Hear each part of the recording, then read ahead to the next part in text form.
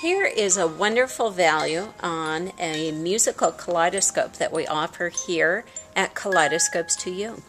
The music box is wound from the bottom and then the music box then powers the turning object chamber of beads inside the kaleidoscope and then the eyepiece is at the top.